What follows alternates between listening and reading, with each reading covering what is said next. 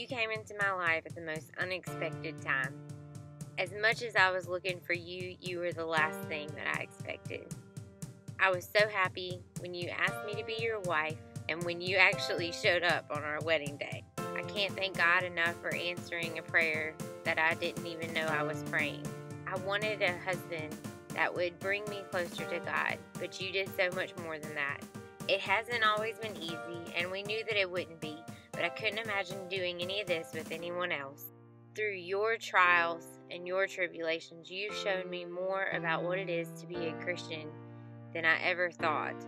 I don't know why I deserve you, but I'm so thankful that God chose me to be your partner in life. We have been through some really hard times, but we've also been through some really great times. I can't wait to see what the future holds for us. And I'm so thankful for every moment that we've shared together because they've made us so much stronger as a couple. And I know that they're going to make us so much stronger as parents. You make me laugh, you make me smile, you made me cry. But none of that matters because you are perfect for me in every way. Because you're not always perfect, and neither am I. Today is such an amazing day. It's a day that we never thought that we would get to celebrate. And although she isn't here yet, Adeline Blaine is so lucky that you're going to be her daddy. Happy Father's Day, Shane. I love you so much. Hey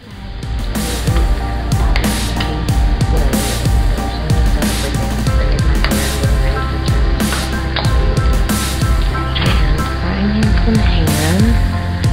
And I'm gonna make him fried eggs. Put it on uh, a biscuit. Coffee biscuit. And then we're just gonna give him gift. Here is his breakfast.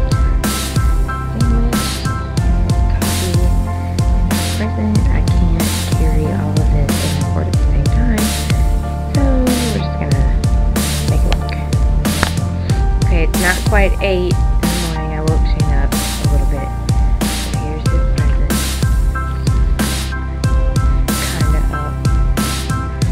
up. Annabelle wants his breakfast.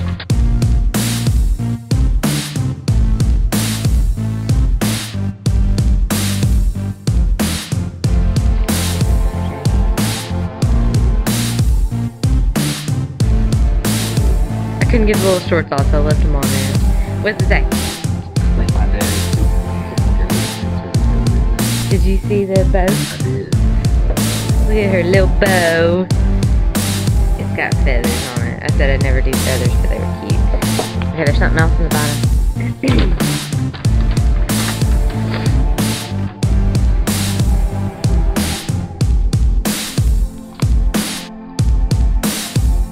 This girl, she's still for it. She called me. Daddy's girl. Isn't that cute? Yeah. It's gonna make me cry.